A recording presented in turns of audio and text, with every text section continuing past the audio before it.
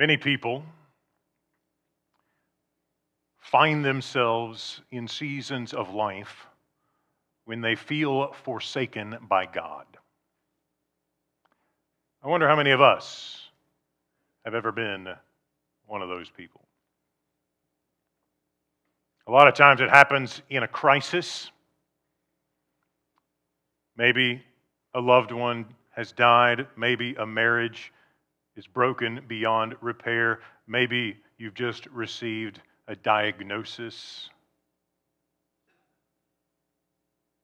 And you haven't stopped praying and you haven't stopped reading your Bible, but you just don't feel God's nearness. You just don't feel His presence like you did before. And maybe you remember what it used to be like when you feel, just felt this, this richness and, and you, you, you could read the scriptures and you felt that the Spirit of God was near and you felt that He heard your prayers, but now it just feels like you pray and they fall on deaf ears and, and these, these feelings.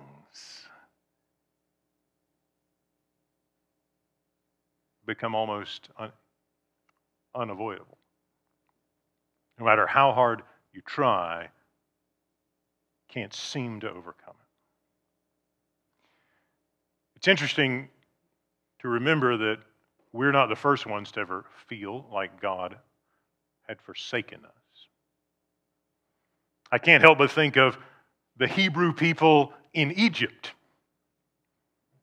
under the cruel taskmasters, crying out to God, You promised Abraham you would be our God. Where are you? I can't help but think of the Hebrew people in exile in Babylon. Millennia later, when God had been there in the land, his presence in the temple. And nevertheless, he allowed their enemies to overtake them and withdrew his presence. And they cried out from exile, How long? Will you remain distant? Even when they came back into the land, the manifest presence of the glory of God never returned to the temple in Jerusalem. And they still cried out, Where are you, God? Mark presents Jesus asking the same question My God, my God, why have you forsaken me? And we attach a lot of theological interpretations to that. We'll get to those in just a minute. For now, what I want you to see is how Mark puts Jesus specifically into the place where the people of God have, have shared this experience of feeling forsaken, of having our experience of this, this, this, my prayers are falling on deaf ears, and I just, where are you, God? I'm in my moment of need, and where are you? Mark wants us to see that God Himself, in the person of Christ, is no stranger to that experience that is common to so many century after century and millennia after millennia. And Mark presents Jesus to us in this way, in his death and in his resurrection, together. Because he wants us to see that God is indeed faithful, despite the fact that we feel forsaken. You hear that? Mark wants us to see that at this moment, this moment of greatest sorrow, God is most faithful. Mark wants us to see that God stays faithful even when we feel forsaken. We'll let that be the bottom line today. God stays faithful even when we feel forsaken.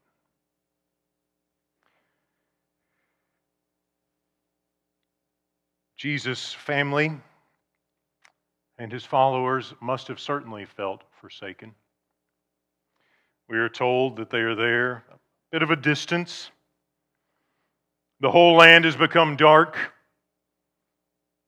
Mark wants the tone of this to be heavy, and he amplifies this, this, this darkness and this sadness. And Jesus, with this cry, My God, why have you forsaken me? He tells us about the women who were there looking on from a distance. They didn't get too close, but they hadn't yet re- departed. Mary Magdalene, Mary, the mother of James, Salome, they're women who were a part of Jesus' entourage, his group, his followers. Notice we don't hear anything about Peter in this moment. The women are there, they're faithful, they're present. The men are nowhere to be found. We do hear about Joseph of Arimathea, who was waiting expectantly for the kingdom. And again, we are reminded that the whole Gospel of Mark, from beginning to end, chapter 1, Jesus comes proclaiming the kingdom of God has come. And now in chapter 15, we are reminded that this is about waiting for the kingdom. Joseph was, he was one of the respected members of the council, but he was waiting for the kingdom. But this ending was totally unexpected.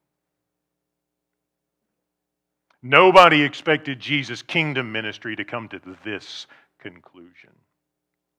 And they all felt forsaken, they all felt abandoned by God. And that feeling, that where are you, God? Why have you forsaken me, God? That, that, that common shared experience that all of them have, that the people of God throughout history from time to time have had, that many of us have likely had in moments of great dark, that dark night of the soul, that sorrow. We find Jesus experiencing those same emotions, that same psychology, that same sorrow, that same grief. When he says, My God, my God, why have you forsaken me? Now, if you know your Bible, you know Jesus is actually quoting his Bible in this passage. This is a quote from Mark or from the Psalms, Psalm 22, verse 1. And we typically read it in a certain way. And we have songs about this, this passage. It's so it's massively important to so many of us.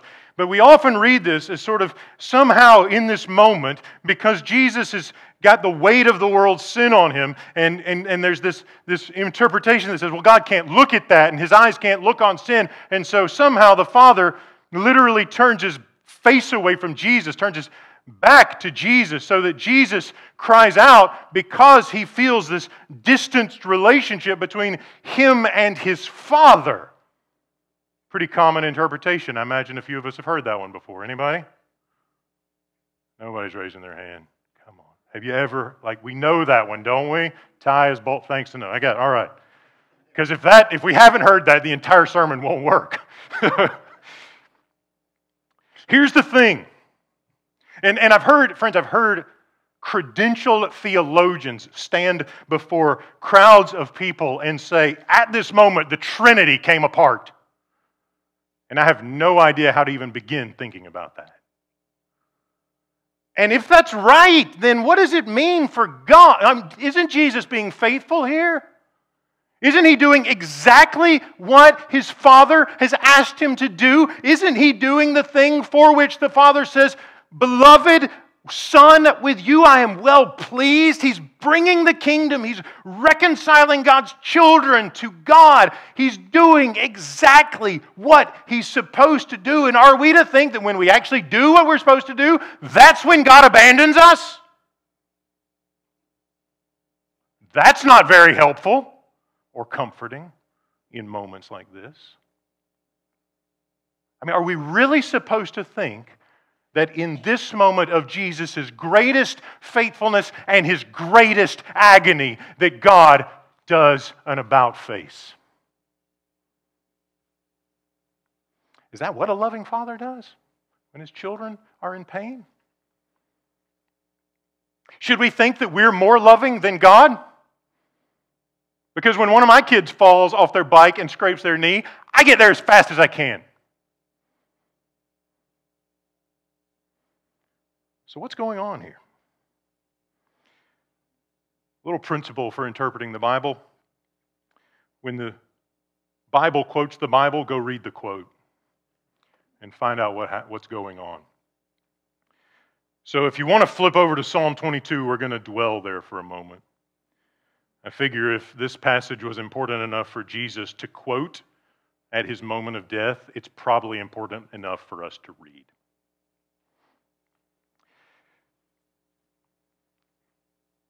Psalm 22. My God, my God, why have you forsaken me? Why are you so far from helping me? From the words of my groaning. Oh my God, I cry by day, but you do not answer, and by night, but find no rest. It seems to get worse, doesn't it, when we actually read the psalm? This, and the psalmist is our, I mean, this is thousand years before Jesus, but the psalmist is expressing this thing that so many of us have felt. So many of us, in the, before the psalmist and after the psalmist, is expressing this, this thing where we, we find ourselves in our room and we're, we're filled with sorrow and we're praying, Where are you, God? Why have you forsaken me? He's, he's, I'm, I'm crying out to you. I'm praying to you, but you don't answer. I feel like I'm praying, but they don't get past the ceiling. And I just, what's going on? And yet, immediately in verse 3, the psalmist reminds himself that God is always faithful. This is what Jesus has, is meditating on as he is hanging on the cross. Verse 3 Yet you are holy. Even though I feel abandoned, I remember that you are holy. You are enthroned on the praises of Israel. In you our ancestors trusted, and you delivered them. To you they cried, and they were saved. In you they trusted and were not put to shame. Now, does that begin to reframe the crucifixion for you any? Jesus isn't just going, I'm all alone here. He is meditating in his greatest hour of need on a psalm that rehearses the faithfulness of God from Abraham all the way up to the present day. I feel abandoned, but I know better.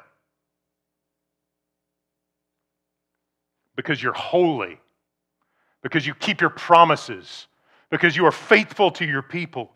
They trusted you and you delivered them. To you they cried and they were saved.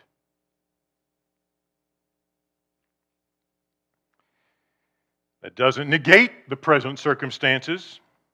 Verse 6 I'm a worm and not a human, scorned by others, despised by the people.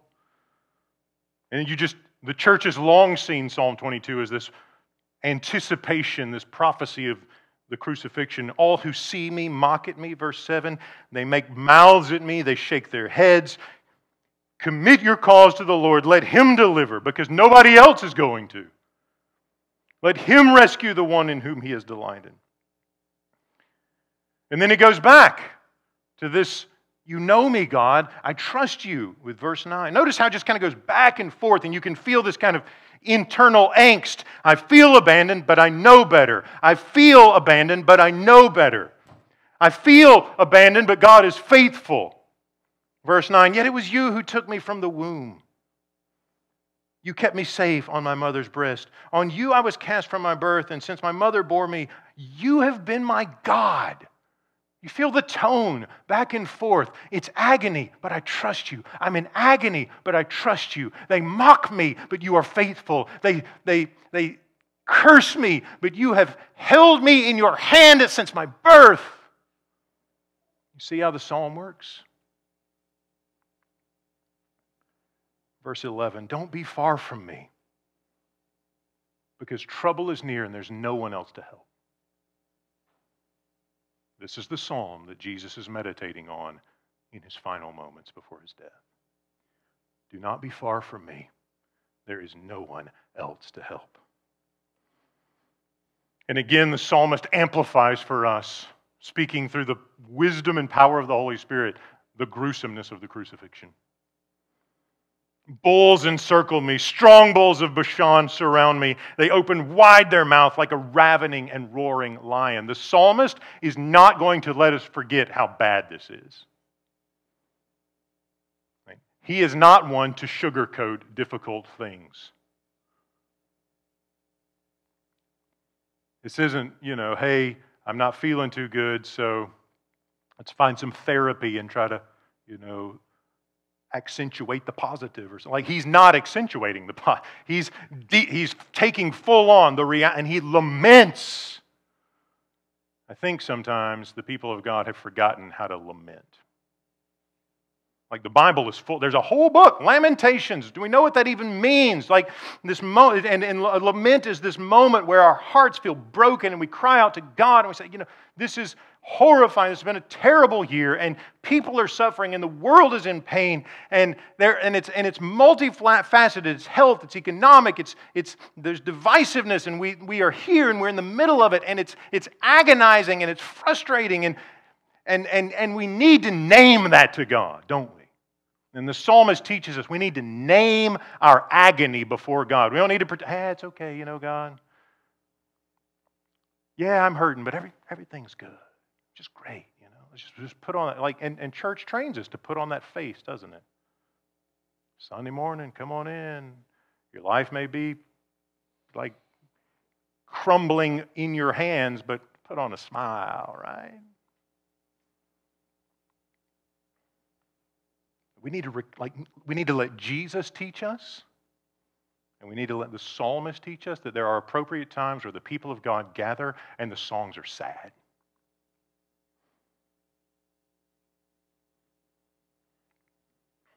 I'm poured out like water, verse 14. All my bones are out of joint. My heart is like wax, it is melted within my breast. My mouth is dried up like a potsherd. My tongue sticks to my jaws. And again, we're reminded this is about the crucifixion when he says, You lay me in the dust of death. Death does not mean God is not faithful. Dogs are all around me. The company of evildoers encircles me. My hands and feet have shriveled. I can count all my bones. They stare and they gloat over me. They divide my clothes among themselves, and for my clothing they cast lots. No wonder Jesus was thinking about this psalm as the soldiers ripped his clothes and dressed him in mocking purple garments and cast lots for his garments. We're still in that back and forth. Here's my experience, here's reality. I feel abandoned, but God is faithful. Verse 19, but you, O Lord, don't be far away. My help, come quickly to my aid. Deliver my soul from the sword, my life from the power of the dog. Save me from the mouth of the lion. From the horns of the wild oxen, you have rescued me. Notice how the tense changes there.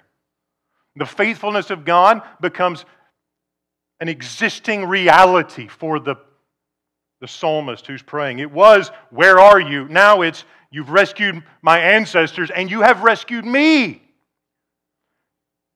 From the horns of wild oxen, you've rescued me. I will tell of your name to my brothers and sisters. In the midst of the congregation, I will praise you. You who fear the Lord, praise him. All you offspring of Jacob, glorify him. I want you to imagine Jesus hanging on the cross, meditating on this psalm, uttering those words under his breath as he dies for us, praying out to God, why have you forsaken me? But I will tell of your name to my brothers and sisters. In the midst of the congregation, I will praise you. You who fear the Lord, praise him. All you offspring of Jacob, glorify him. Stand in awe of him, you offspring of Israel. For he did not despise or abhor the affliction of the afflicted When Jesus was on the cross, afflicted for our sake. He is meditating on a psalm that says, God does not despise or abhor the affliction of the afflicted. And now, listen to this. If you have any question, verse 24, He did not hide His face from me. Did you catch that? One of the most common interpretations of the My God, my God, why have you forsaken me? Is that God actually turned his face from Jesus. The ironic thing is that Jesus is meditating on a psalm that says, You don't hide your face from the afflicted. Like, if the traditional, conventional interpretation is right, then Jesus is praying the psalm in a way that contradicts what it actually says. Which means he probably isn't praying it that way. Here's the point My God, my God, why have you forsaken me? doesn't mean that God actually turned his back on Jesus. It means that Jesus knows what it feels like to be alone, to be pressed down, to be crushed, to be afflicted, to be abhorred.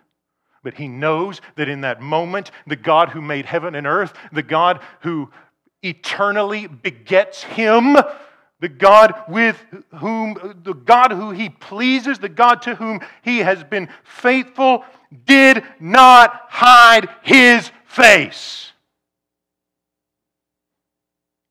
I remember the first time I really actually read this psalm in the context of the quote. Because I kind of took the conventional interpretation for a long time. Yeah, God can't look on sin, so he turns his face. And then I, re- like, you know, learned the principle. When Jesus quotes the Old Testament, go read what it says. And not just the first verse, but the whole thing. And you discover as you read it that it is one of the most beautiful, faithful, glorious, like, I want, I love this God. Who says, when you feel like your world is in pieces, I will not turn my face from you. Never. No matter what it feels like, no matter how bad it hurts, no matter how distant it feels, you cannot trust your emotions on that. You cannot trust your experience on that. Your heart will mislead you. God is faithful. He doesn't turn away. He doesn't go, ah, just.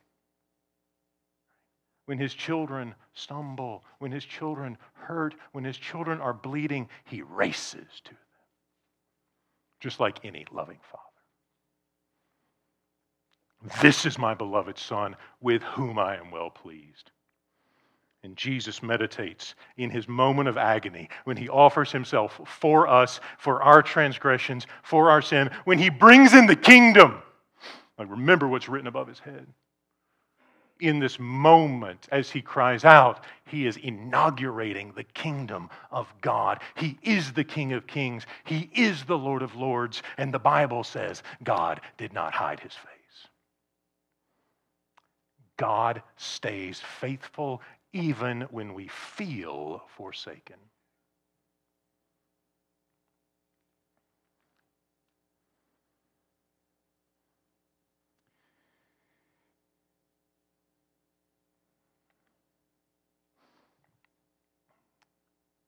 I think about times in my own life when it felt like things had just crumbled. Think about when I was 10 years old and lost my dad. World shattering. He was 35.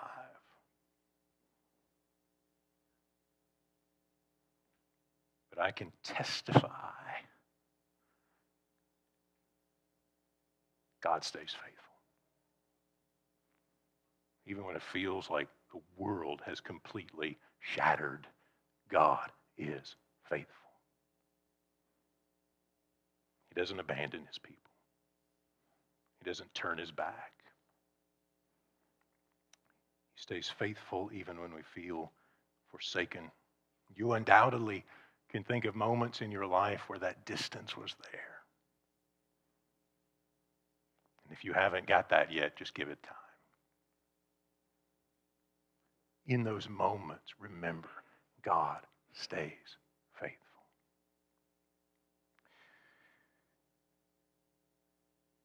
It is an important reminder that we cannot necessarily trust the way we feel.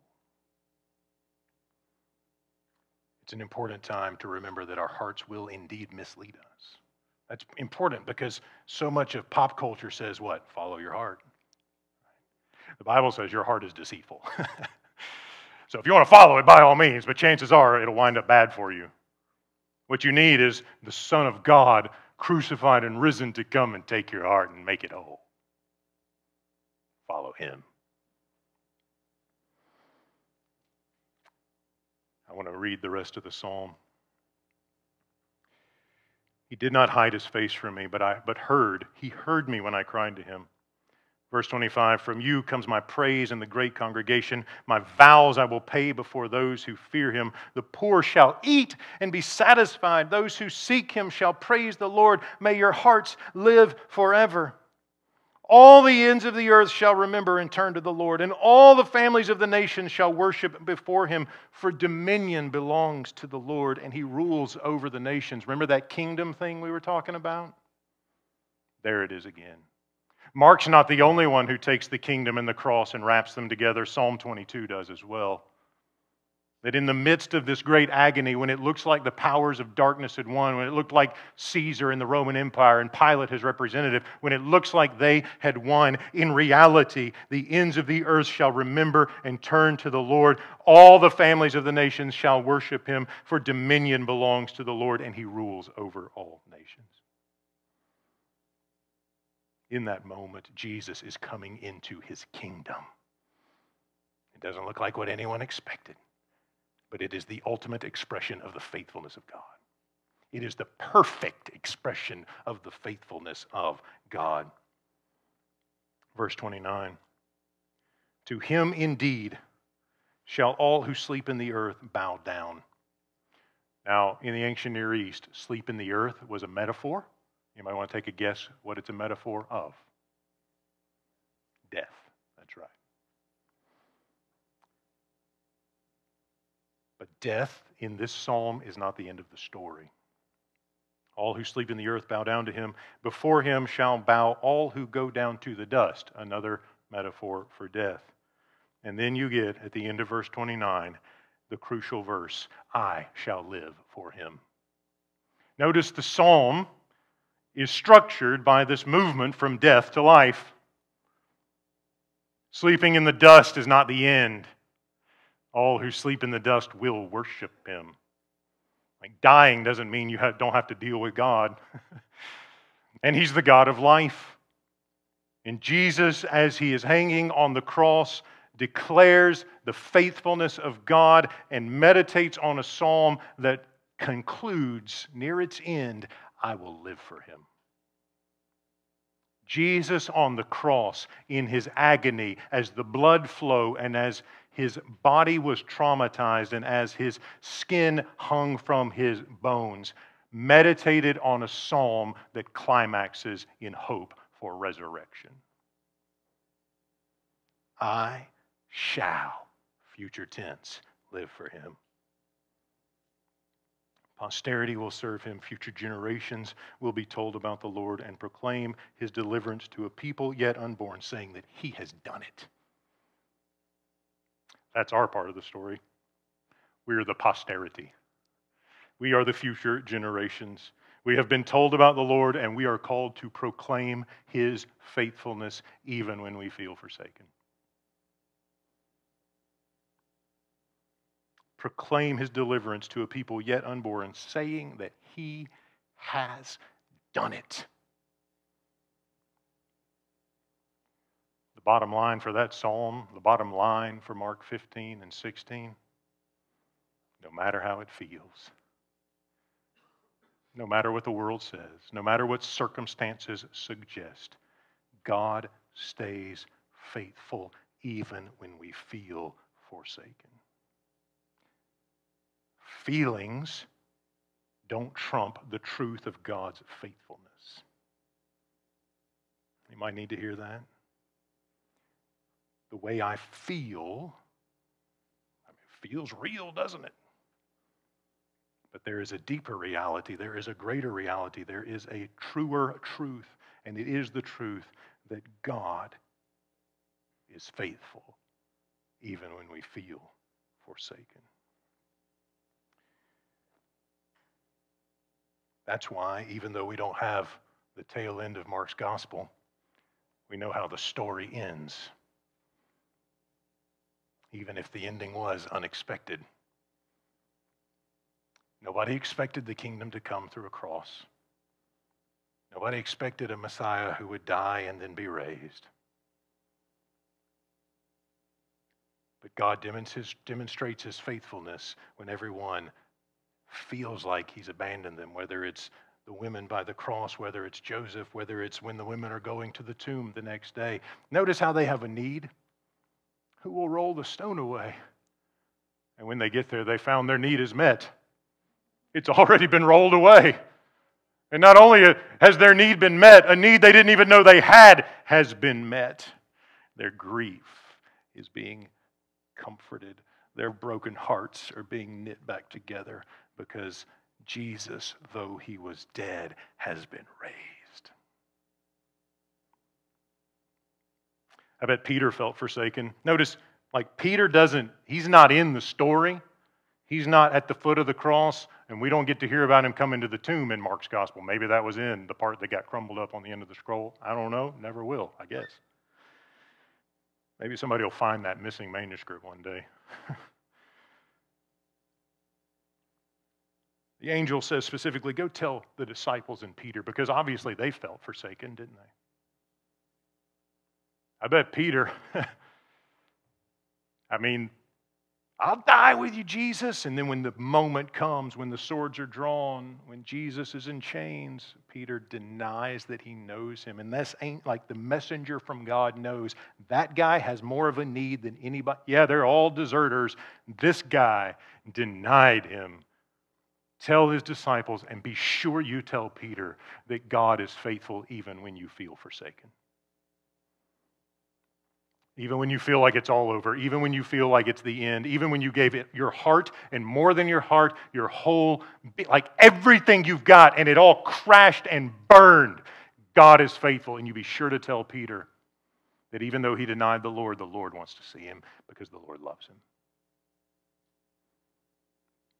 This text is just oozing with the faithfulness of God, embodied in Jesus. And that's the crucial piece, friends.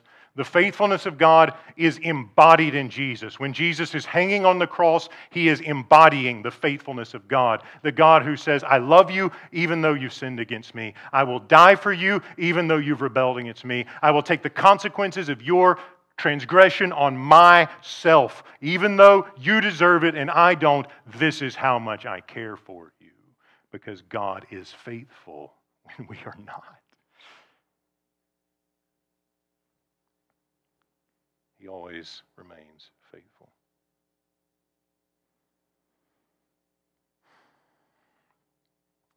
So I wonder how many of us need to spend some time praying the 22nd Psalm.